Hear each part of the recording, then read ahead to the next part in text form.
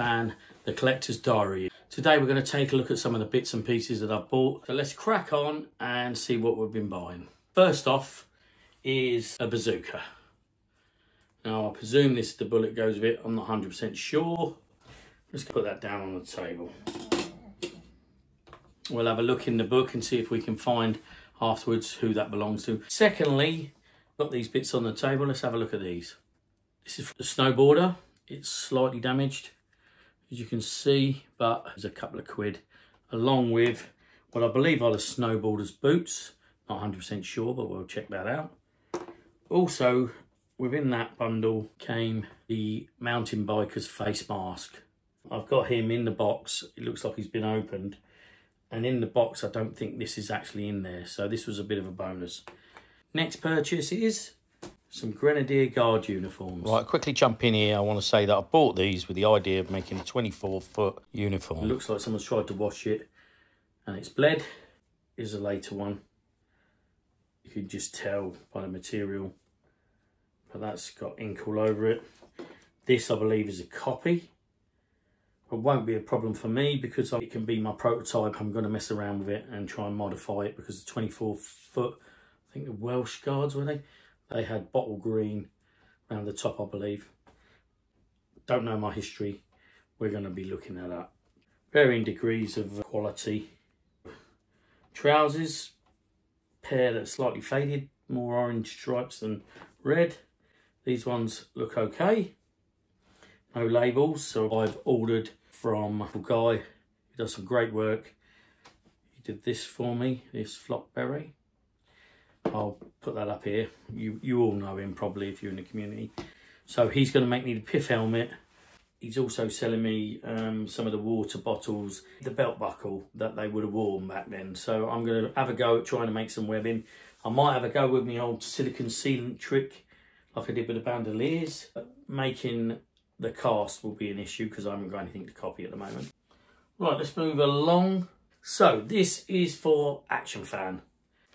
We've got a 40th entrenching tool for Action Fan because he's wearing the combat soldier uniform as you can see. Let's just show you at the back. We've got this great M1 carbine. I got from Van Man with a folding stock.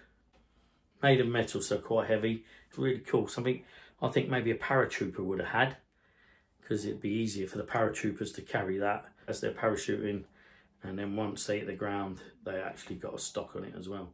So really cool. Looks great. I will say the barrel is easy to bend. So be careful with that. But otherwise it's great. Right so there's the back of action fan. I'm going to be using this to replace this bright green sleeping bag. And the entrenching tool I believe would fit in there. We'll have a look in the pictures and we'll work on that for action fan this does make Action Fan very top heavy. I, I, will look this up, but you guys might be able to tell me. These hooks on the front of the backpack, they've got like two straps, two hooks. Does anybody know where they go to? I mean, my first thought was they're supposed to go down to the belt, but they're really not long enough to reach the belt. Let me know what these are for. All right, let's put Action Fan back over there. Right, on a similar theme, we bought some American World War II helmets. I believe this is an original. I believe this is an original. Someone told me they're generally copies when they've got a fixed elastic. So there we go, we've got that to go with this bit of a theme going on there. And again, fantastic one. We're going to build another GI. We've got a poncho. Now this is a cloth one. It's not the waxy sort of looking one, which I think I've seen in my book. So there we go. Right, next we've got Nice pair of green overalls from the field training exercise, I believe. A little bit of issue at the back here, needs a little bit of sewing. Apart from that, they don't look too bad, not very faded. You need a black beret for this.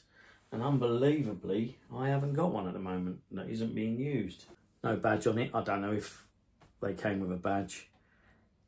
I believe it just came with standard black boots, black beret, and an SLR. So we've got an SLR for him. We had that in the collection. Fix the barrel on that one. That's the start of that uniform.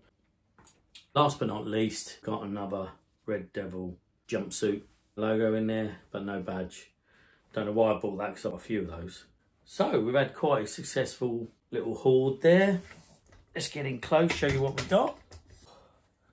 Five tunics and two pairs of Grenadier Guard trousers. We've got our camouflage bazooka with a shell.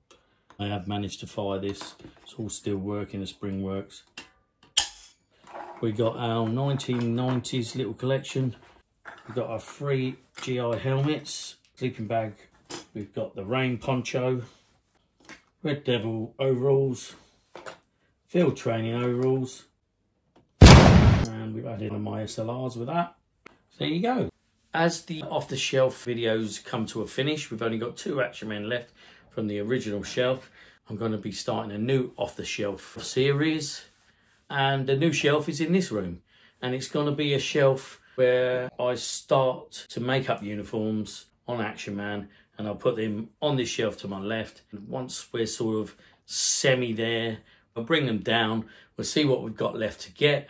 We'll read from the book and from the internet as what is needed. Don't worry off the shelf fans. The shelf has two more Action Man. This shelf will be a constant flow of Action Man.